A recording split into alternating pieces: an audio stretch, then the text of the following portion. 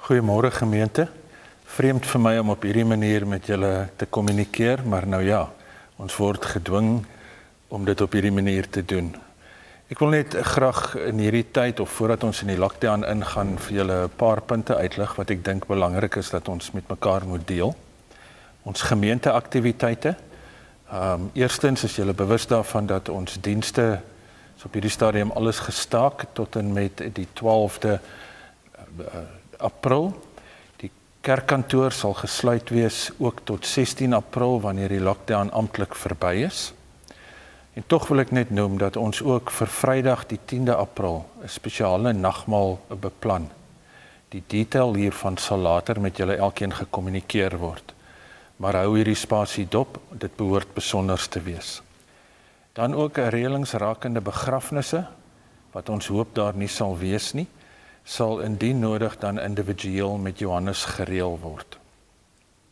Beide Johannes en Neil sal tydens hierdie afsonderingstydperk beskikbaar wees op die verskillende media platforms, byvoorbeeld e-pos, WhatsApp, Facebook om gemeentelede te ondersteun, te bemoedig en sommer net om as dit nodig is net 'n skouer te hê om op te kla. Colleen sal ook tydens hierdie uh, tydperk beskikbaar wees. Sy gaan spesifiek met die jeug en die verwante aangeleenthede betrokke wees. Op dieselfde platforms sal sy ook beskikbaar wees om te kommunikeer met die jeug en met die ouers. Dan miskien een van die belangrike aspekte op hierdie stadium is ons gemeentefinansies. Dis altyd 'n netelige saak om oor te praat, maar ek dink tog dis nodig dat ons die omvang van die situasie besef. Ons het gisteraand finansiële bestuursvergadering gehad en besluit dat alle nie noodsaaklike uitgawes gesny gaan word en dat ons sover as moontlik gaan probeer reël vir paaiement uitstel op afbetalingsooreenkomste wat die gemeente het. Die kort en die lank is egter dat ons nog steeds vergoedingspakkette aan ons personeel gaan betaal en ons gaan nie nou daaraan sny nie. Dit het tot gevolg dat ons 'n tekort op ons rekening gaan hê elke maand of minstens vir April maand. Aangesien ons Sondagkollekte nou verval So ek wil graag van hierdie geleentheid gebruik maak om elkeen van julle aan te moedig om sy of haar bydrae nog steeds getrou te gee.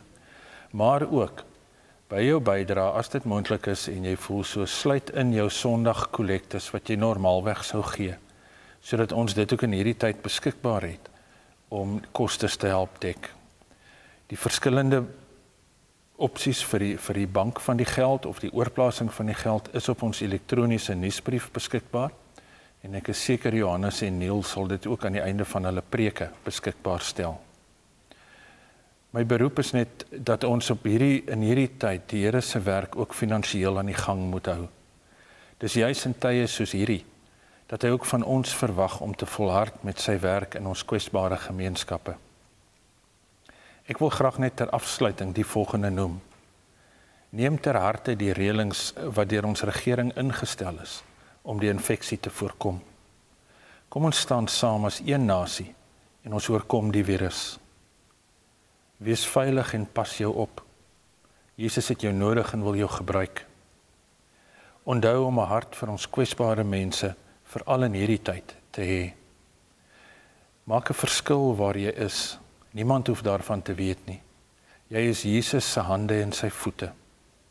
Seën waar jy kan seën want jy is baie geseënd. Hou kontak met mekaar en ondersteun mekaar waar jy kan. Kontak in hierdie tyd is baie baie belangrik.